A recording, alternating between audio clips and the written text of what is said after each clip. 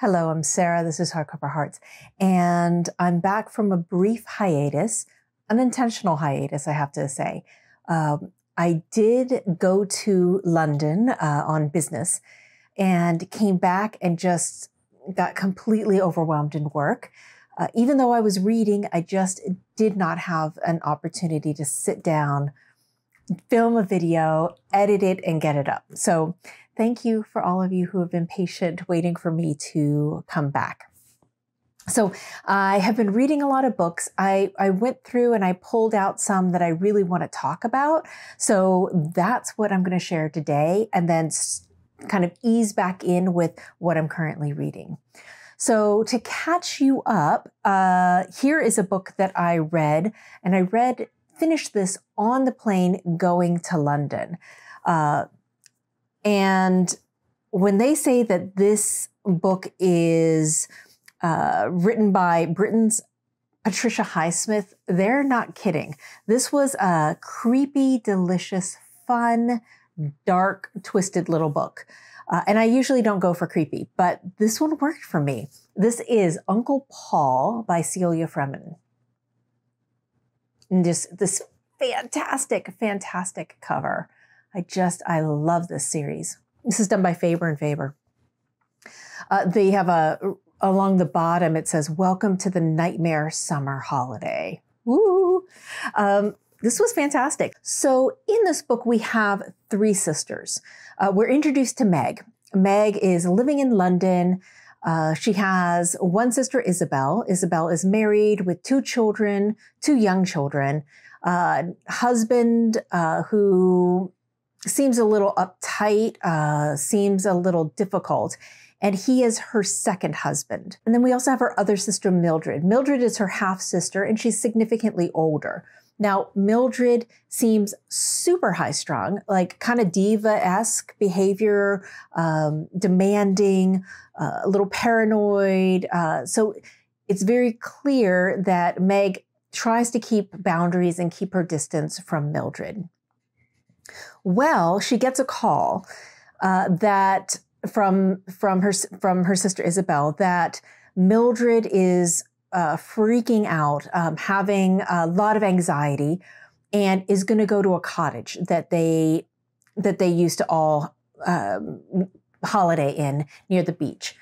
And so Isabel, it, with her two young kids, are going to go and they're going to stay in their caravan uh, at the same seaside um, spot and they'll camp there just to kind of be there to support Mildred. And but Isabel really wants Meg to come to help because uh, I guess it's a two person job to help Mil- calm Mildred down. Meg really doesn't want to go. She has this new boyfriend and things are going really well. And, but she's not really sure. He kind of keeps her on the back foot and she's, uh, it's a still very, very new relationship but she agrees to go. She's only going to go for the weekend. She's just going to go for the weekend and see what's going on. She gets there and Mildred has worked herself into a a tizzy, into a fervor, and it actually sounds like it's a good reason. Mildred had uh, has an ex-husband who was arrested for uh, the murder of his first wife. And we find out that his arrest had something to do with this family. Uh, one of them uh, did something that led to the arrest, and he has been released. Uh, he is, and so they're anticipating that he's going to come back and he's going to seek revenge. At least that's what Mildred thinks.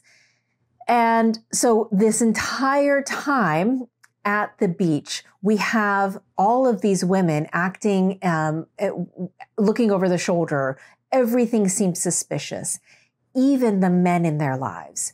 Uh, and I think that cr- created such a delicious, very exciting, enthralling read because no one was above suspicion in this book. It's tense. There's so much distrust.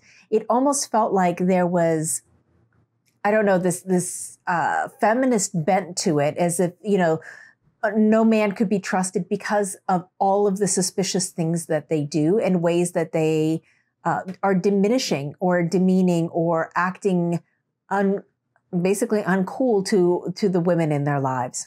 It was delicious, fantastically fun, and while I was in the UK, I bought two other ones from from this author. This was this was a delightful, titillating, exciting read, I have to say. The next book I uh, I did, I did this in audio, and I kept hearing about this. This is not something that I've found in the United States or talked about too often in the United States, but I guess this is a big deal in the UK. And this is Prima Facie. I think that's how you pronounce it. And it's by Suzie Miller. Now, this was a, uh, I think it's a one woman play that has been turned into a book. Uh, this was exceptional. And I have to say, it was actually fantastic to be listening to it as I'm riding through London, especially as I was passing by the Old Bailey. It just felt like the perfect book at the perfect time. Uh, this is a story about a defense barrister who believes very, very strongly in um, the principles of law, believes very strongly that people deserve uh, uh, fair representation uh, because of things that she has seen cops do and police and and prosecutors do in her past. Uh, she has a very non-traditional past. She grew up uh, poor, underprivileged, but was incredibly resourceful, incredibly intelligent, and uh, made her way to uh, becoming a a barrister for def- uh, defense barrister. I think is what they call them, like defense lawyer. And she's often pulled in and often someone who is sought after for sex cases. So where she is defending a rapist or someone who's been accused of rape. And, and this is something that she has found a way to parse out in her mind of what her purpose is and what she's trying to do, irrespective of what they've done, uh, what she has a very principled approach to law. Well, something happens to her and she ends up as a victim and is has really the the uh, the blindfold ripped off of her face and she starts to see the experience from the other side of the coin, the other side of the equation, and recognizing how completely difficult it is for women uh, who have been attacked or hurt or victimized uh, to get justice. Uh, so it's so much about a interrogation of of the class system and the justice system in the UK, and so much of it could be applied to the United States as well. But it is specifically set within that context, and she's such a great character. And the audio was sublime. It was so good. I'll, i forget the narrator's name off the top of my head, but I'll include it in the notes below. It was uh, intense. It was it was um, it was jarring. I mean, trigger warnings abound for uh, assault, uh, for those types of things because it's it's there. And I appreciated the detail. I appreciated the all of the steps that she ha- that she goes through uh, both as a barrister and also as um, as someone who has been victimized by by someone.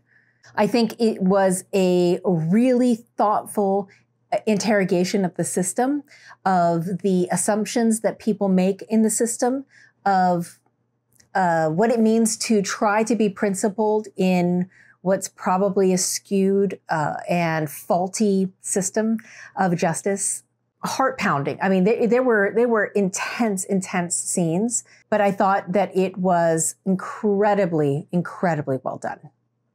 Speaking of incredibly well done, uh, just got done having my in real life book club. Uh, went to this fantastic Indian restaurant that uh, we love so much. Ate outside because the day has been uh, a little cloudy, a little chilly, but but every once in a while the sun would peek through and it was absolutely gorgeous. So we got a chance to get together to talk about this book with the most amazing cover. This cover would never be on a on a United States book. Uh, it's because we don't put photographs of black men and women on our on our books uh, book covers. It's an, an atrocity, but this is just such an amazing cover. This is Fire Rush by Jacqueline Crooks. Look at that cover. And the back is pretty incredible as well. This was on the short list for the Women's Prize, which is why we were reading it. And I think it's also been nominated for the Jhalak Prize this year. This book is incredible, y'all. Um, from the moment I opened it up, I was completely sucked in. There is a vibrancy and a pulse to this book that starts immediately. We have a young woman, Yamaye, and she is independent. She is uh, going out every night with her two girlfriends to these these reggae uh, dub ska clubs, dark uh, kind of underground scene, uh, dancing all night long, um, living her best life, completely free. This feels like it's in the 80s, uh, and it was something that my girlfriends and I looked at and we are like, we were these characters. Uh, we were all involved in the punk scene in the 80s. And there was a lot of her interest in, in, being in dangerous situations because the, that's where the music was. That's where her people, that's where she felt alive. And we all, we all recognize that feeling tremendously. She is, she goes out with her friends. She goes to these clubs. Uh, she sees a man that she, that she dances with and sh- there's a chemistry. There's something there. Uh, he offers her and her girlfriends a ride home, but on the ride home, her girlfriend, very competitive, kind of uh, nuzzles in, and all of a sudden he becomes fo- focused on her. And she is beautiful, and she is charming, and she is po- like powerful, and knows it. Uh, and so Yamaye is kind of sits back and watches and wants to see what happens. Uh, she knows that it could it could go either way. Uh, we fast forward more dances, more nights out, and uh, this gentleman they call him Moose. Uh, he very clearly indicates that he is interested in her, and they start a relationship. And it's really the first time in her life that she feels like there's someone out there who could really care about her. Uh, she, her mother has left the family many years ago. Her father is distant, remote, even though he's right there. Uh, they don't have a relationship to speak of. Uh, she has jobs, but it's not really anything. Uh, she's not really anchored or tethered. She has her girlfriends, but it's not it's not um, always easy. But here's someone who really sees her and really is there for her. It's not really a spoiler because it is in all of the promotional materials. It does talk about how their relationship is, is cut very abruptly short and it really sends her reeling and she gets caught up in things that uh, if she had, if she was in a different state of mind, she never would have gotten involved with. This is a young woman who is smart, is uh, very self aware, and she knows that ultimately she only has herself to to look out for. She she's the only person she can count on. And she has to find her inner strength to find a way out of the precarious situations that she's gotten herself involved in. Uh, that that i don't want to give too much away but there's so much more at play here. Uh, the writing is atmospheric. It's um, it, there's a beat to it. There's a percussiveness to it. There is, you feel the culture, you feel the music, you feel um, the freedom that she thinks she has. You also feel the heartbreak. You feel the injustice. Uh, the way this book deals with very difficult things, honestly and realistically, was was wonderful. Uh, didn't make for a comfortable read. It doesn't make for a tidy read, but it m- makes for a read that feels mm, earned. Uh, you feel like like this author knows of what she speaks. Uh, yeah, incredible book. We all uh, we all loved it, and and we're wondering: Are there other books about this uh, subculture, the the uh, really it's the second generation from the Windrush um, era, the and and the ska movement and the Northern Soul movement. If you know any other fictional books that that have this milieu, uh, we would love to know. We would love to know. So yeah, fantastic. So glad. I never would have read this book, never would have come across my radar were it not for the Women's Prize or the Jhalak Prize. So it helps to read those prizes. Then the last book I want to talk about is The Seventh in a series that I'm reading with my dear friend Leo from Leo's Little Book Life. And this is Emile Zola's The Assommoir. Uh, this is translated by Brian Nelson. This is my fantastic Oxford University Press edition. This was written in 1877, though it is so modern, it is so contemporary, uh, you wouldn't, you, you quickly forget it. You quickly forget that. Uh, and this is recognized as, as so important a book that uh, my French teacher said that it's read outside the, the 20 volume Rougon-Macquart series. So it's read as a standalone because it speaks so passionately, compassionately, about poverty in Paris and the lower classes and how difficult life was and almost impossible sometimes to rise above. In this book, we have Gervaise, and we meet Gervaise as a young woman with two, two boys, and she has fallen in love with this man, and he is the father of her, her two children. They are not married, but they have moved to Paris together. And Gervaise is hardworking. She is a laundress. And she she throws everything that she can into her family, into her work, and she has very, very high standards. And I wish she had such high standards for the men that she chooses because uh, they're all rotten. Starting with the first man who leaves her, uh, and and she is uh, left on her own but she picks up the pieces, she puts her puts her back into it, and uh, sets off to make do with what she the cards she was dealt, and she proceeds to establish herself as one of the best laundresses in uh, working in in this Paris neighborhood. She is started to be courted by this man. He's a roofer and seems like a good man, like a very good man, but you know she's very wary and she says, you know, you don't want to get involved with me. I don't think this is a good idea. Keeps trying to push him off, push him off. He wins her over eventually and they start a, a love affair. And at first it's fantastic. They move out of their small uh, little one bedroom uh, kind of uh, hotel room and they move to a little apartment. And she saves and she saves and she saves. And she has a dream of opening her own laundry service, her own uh, laundrette. And she has a dream and she's picked out the exact spot and she's saving and she's saving. And her husband has a fall from the roof and hurts himself very badly. And he is never really the same after that. And, and she proceeds to uh, take over and and help him and and enable him to continue to be less than he should be. Uh, and he falls in the hands of drink. Uh, she does a she is able to secure a loan from a man who thinks very very highly of her and is actually kind of in love with her. He's a neighbor and he loans them the money for so she can open this business they end up moving so that they can be closer to the business and they move into it's really like it feels like a tenement building and the her business will be at the bottom floor at the street level.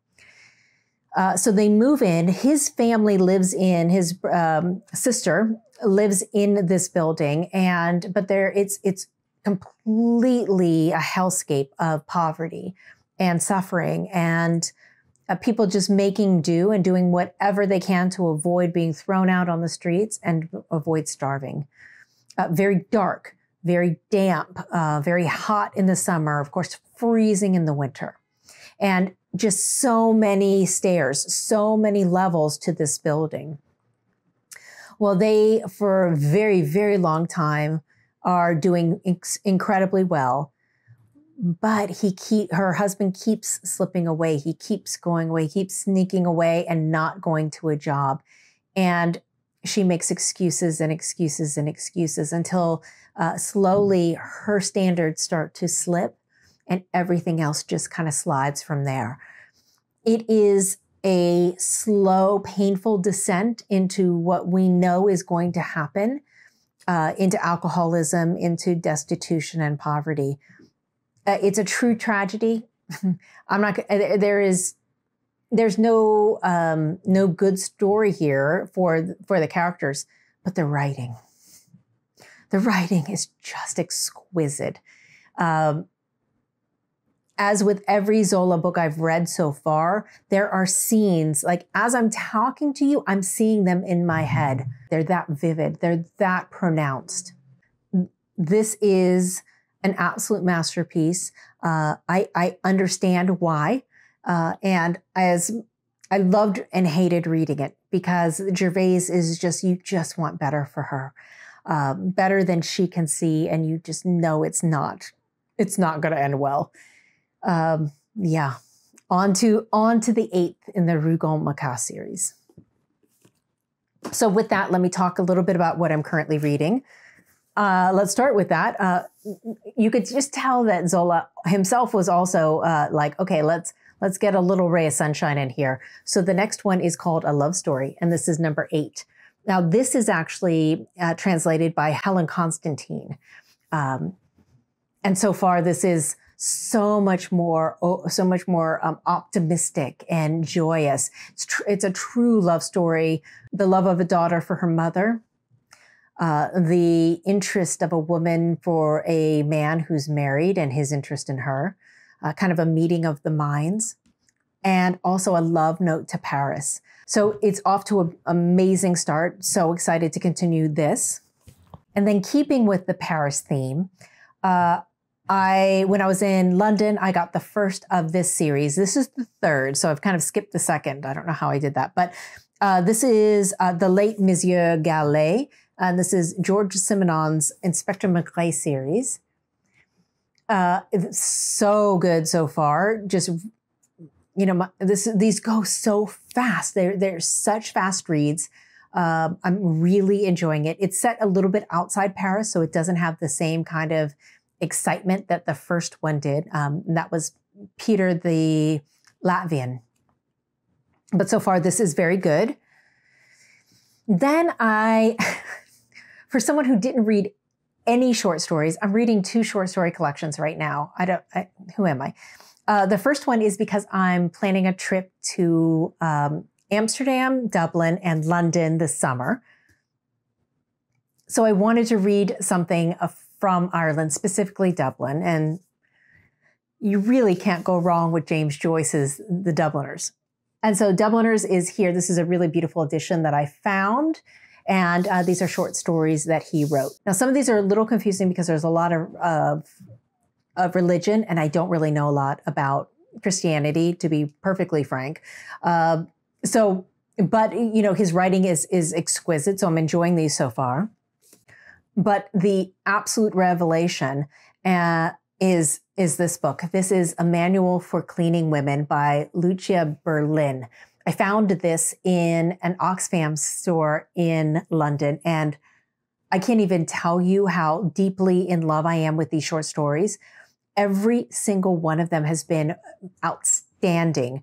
Uh, a slice of life, a little glimpse into other people's existence not weird, not like some kind of weird gut punch at the end that you're left not knowing what's going on, not surreal, uh, really true, feels authentic, interesting uh, perspectives. And it says here in the back that I think is, is perfect. Uh, drawing on her own rich itinerant life, Berlin invites the reader into a world of beauty, pain, laughter, drink, and surprising moments of grace. In Mexico, Chile, and the American Southwest, in laundromats, hospitals, motels, and bars, she crafts miracles from the everyday. And that's what I love. So, really enjoying this incredibly. And then the last thing is I'm listening to a book that's on the Women's Prize nonfiction long list. Uh, this is the first time they're doing something like that. And it's called Thunderclap. a memoir of art and life and sudden death. And this is by Laura Cumming. And it's about the, it's about a, a lot of things. Um, so it's one of those memoir, someone's reflecting about their life as they're talking about something else. Um, and so there's like these interconnections between her life and uh, something that she fell in love with, which was the all of the insight and information about an artist that she personally and her father personally loved, which was uh, Carel Fabritius, who did The Goldfinch. I think if you may be familiar with the Donna Tartt cover of her book, The Goldfinch, it's that painting. And uh, he was killed in a uh, random spontaneous explosion that happened in 1654 in Delft. And she talks about him and his life and she reflects on her father, who is also an artist, and his introduction uh, to her about art, and then and and these. It's not a it's not a mapping. It's not like this person reminds me of my father. It's it's much more intricate than that. I can tell already it's going to be one of those books that I'm probably going to want to have my hands on but the author reads it herself. And so that's uh, uh, very compelling. So I'm sure I'll be able to review this uh, next week when I talk to you then. So that's it for now. I would love to know have you read any of these and what were your thoughts? And if you have any recommendations of fiction um, set in that kind of London, uh, of the reggae scene. Uh, would love to love to know that if you don't mind. And I'll look forward to talking to you next week. Thank you so much.